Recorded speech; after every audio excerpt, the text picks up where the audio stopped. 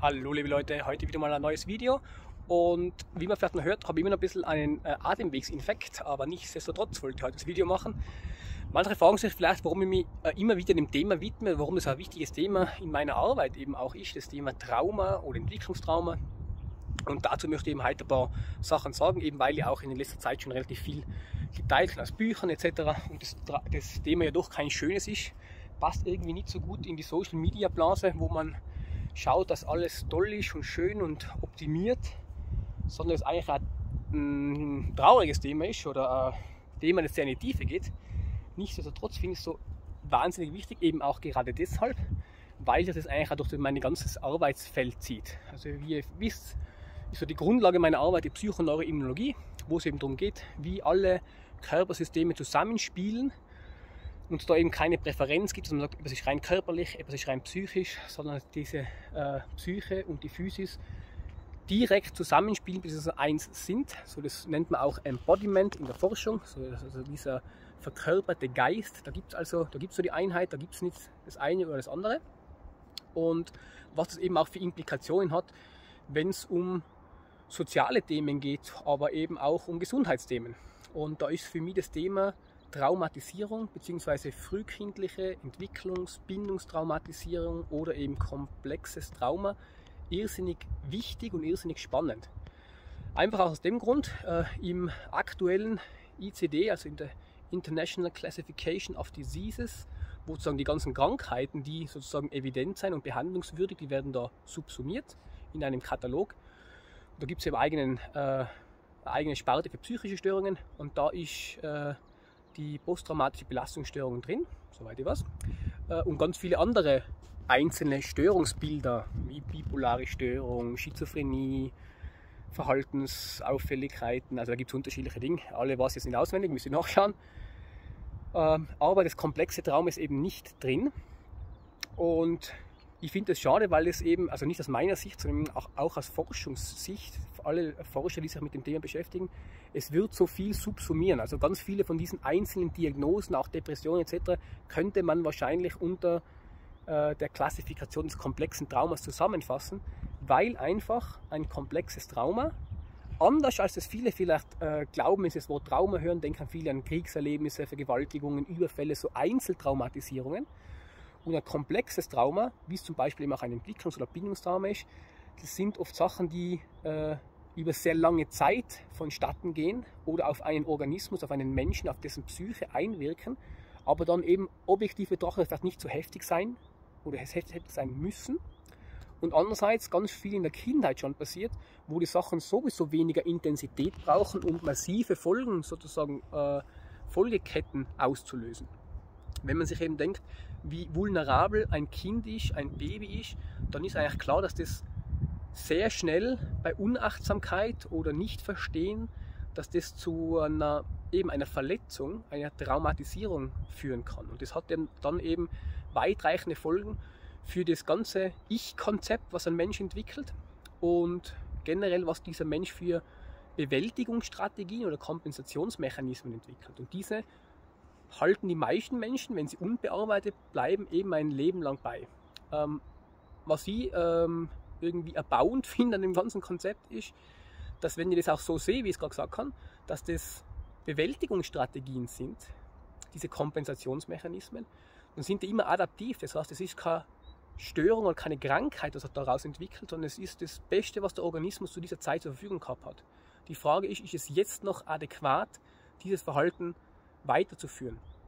Und da ist einfach meine Erfahrung auch, und nicht nur meine Erfahrung, sondern vor allem die Erfahrung von sehr vielen Leuten, die auf dem Gebiet geforscht haben, dass oft eine klassische Redekur, so wie es in der Psychoanalyse zum Beispiel ist, wo man kognitiv versucht, diese Sachen zu verarbeiten, rein kognitiv über Gespräche, das manchmal nicht viel nützt, weil es sozusagen nicht tief genug ins Nervensystem geht. Und unser Präfrontalkortex, wo man heute annimmt in der äh, Neurowissenschaft, das, sitzt, das, das sozusagen der Sitz unseres Ichs ist, unserer Kognition, unseres Bewusstseins, unseres Tagesbewusstseins, dann hat das nur sehr wenig Einfluss auf den Rest des Gehirns, wo eigentlich unsere ganzen Muster so, so, so sozusagen abgespeichert sind, wo die festsitzen. Da geht es sehr viel mehr um Erlebtes, was man wirklich erlebt und nicht nur über was man redet. Wenn man das Ganze aus der Körper äh, äh, traumaorientierten Sicht sieht, da gibt es ein paar Lebensaufgaben oder ein paar äh, grundlegende Bedürfnisse, die erfüllt sein sollten oder müssen, damit ein Kind sozusagen optimal gedeihen kann. Und das wären, je nach Schule ist es unterschiedlich, aber so in etwa wären das eben Sachen wie Ankommen in der Welt, das heißt, wenn ich auf die Welt komme, wie bin ich wie, wie, komme ich an? Ist das eine stressige Situation oder habe ich gleich Körperkontakt zu meiner primären Bezugsperson? Sind das äh, nette Geräusche, Gerüche, äh, Körperempfindungen, die ich habe, wenn ich auf die Welt komme oder ist da schon was schiefgelaufen?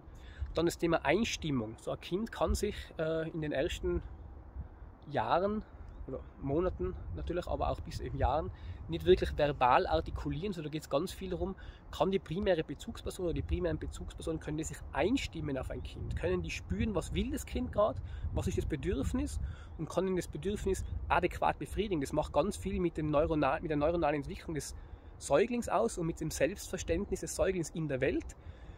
Jemand versteht mich, jemand kann sich auf mich einstimmen.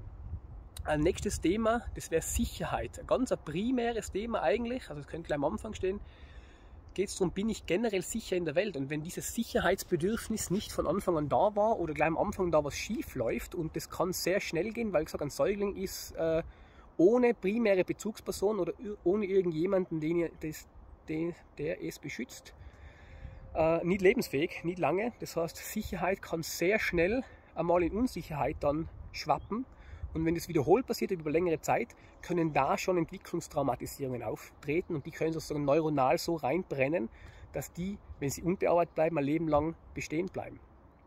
Und das sind so irrsinnig wichtige Themen, die dann ganz viel von den Verhaltensweisen und von den Mustern, die Menschen so ein Leben lang mit sich mitschleppen oder mit sich mittragen, danach erklären können. Auch ganz viele Symptomatiken, die wir heutzutage eben in viele verschiedenen Katalogen eingeteilt haben und das ganz verschiedene Störungen sein, die scheinbar nichts miteinander zu tun haben. Die wenigsten Personen, die psychische Störungen haben, haben nur eine Störung, sondern die haben viele von den Störungen.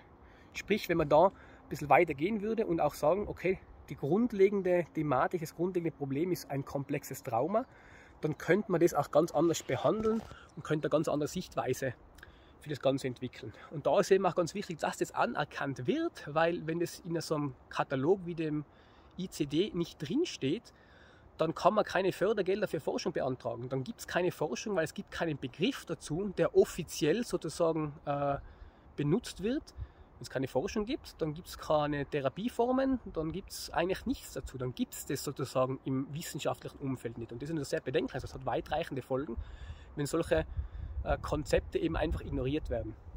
Was es für mich persönlich macht, wenn ich das so sehe, dass das eben adaptive Überlebensmechanismen sind, dann macht es für mich ganz viel, wenn es darum geht, andere Menschen zu verstehen. So ich sehe in unserer Welt, vor allem in der Social Media Blase, sehr viel äh, Fingerzeig. Der ist schlecht, der ist schlecht, der macht's falsch, der ist böse, wegen dem läuft alles schief.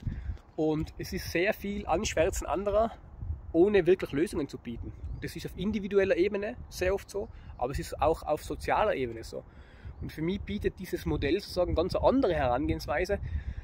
Ich versuche dann immer zu schauen, okay, was ist denn da schief gelaufen, dass Menschen so oder so jetzt handeln.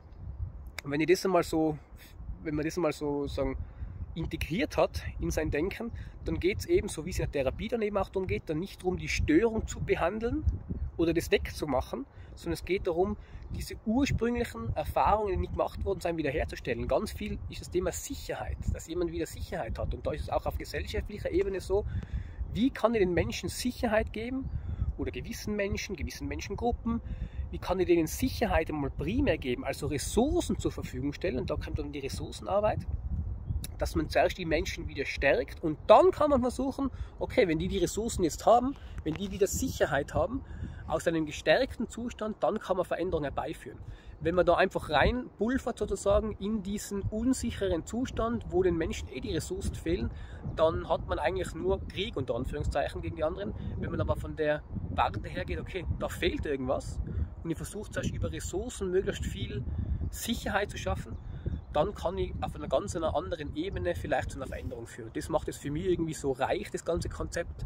Und deswegen ist es für mich nicht ein tragisches Ding, diese frühkindliche Traumatisierung, Trauma allgemein, komplexes Trauma, sondern es äh, beherbergt für mich ganz viele Wege und Konzepte, wie man vielleicht etwas besser machen kann. wenn euch das Thema interessiert, dann lasst mir gerne eine Nachricht da oder einen Kommentar. Da können wir gerne ein bisschen darüber diskutieren. Ich freue mich über jede Interaktion. Wünsche euch einen schönen Tag und bis zum nächsten Mal.